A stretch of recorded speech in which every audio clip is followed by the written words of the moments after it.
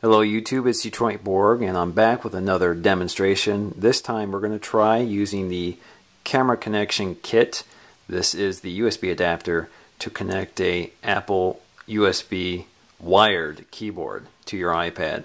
I've heard this works but I've never actually seen it. So let's go ahead and see what happens.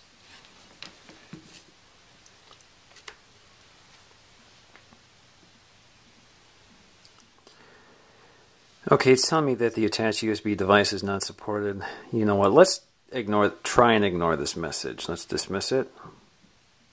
Now let's go to Notes. Let's see if we can type something. Now I see the virtual keyboard hasn't appeared yet. Usually the virtual keyboard will stay hidden if a keyboard is attached to it, either the keyboard dock officially supported by Apple or the wireless keyboard. So let's go ahead and try typing.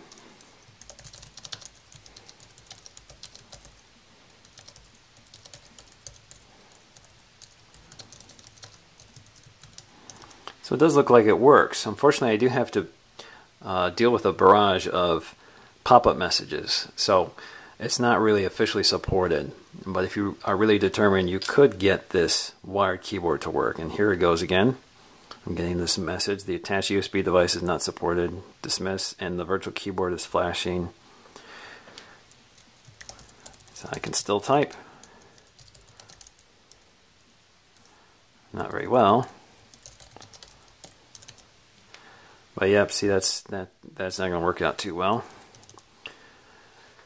But at least you can get some functionality out of the keyboard. Now I would recommend that others try connecting a standard uh, USB keyboard. This Apple keyboard is a powered hub because it has USB, has two USB connectors on it. We see one here and one there.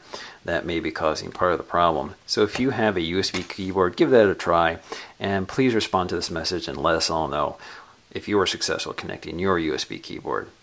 So once again, that's Detroit Borg with a quick demonstration of connecting an Apple wired USB keyboard to your iPad using the USB adapter from the camera connection kit.